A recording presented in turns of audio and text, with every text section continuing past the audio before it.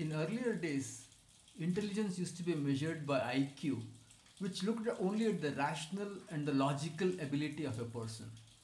Today, we have moved beyond that and we look at emotional intelligence as a requisite for success and happiness in life. Emotional intelligence is the ability to recognize and manage our own emotions and also emotions of others around us. Getting along with people around us determines how successful we are both in workplace as well as in our social life. Life skills are the tools that help us to go towards the goal of being an emotionally intelligent person.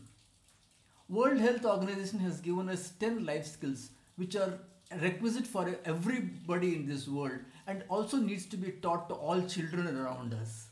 Our course Diploma in Life Skills and Emotional Intelligence aims to do precisely this.